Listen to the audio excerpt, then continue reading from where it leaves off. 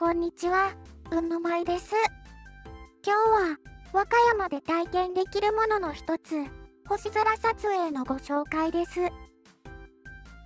和歌山には、君野町というところに、有名な天文台があります。とても星が綺麗なんですよ。天の川とか感動ものです。そんな綺麗な星空を写真に収めようと思っても、なかなかうまくいきません。星空と一緒に撮影だなんてもってのほかです。でも、星空と一緒に撮影できるプランをご用意してます。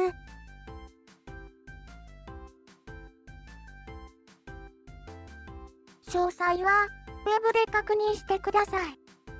よろしくお願いしときます。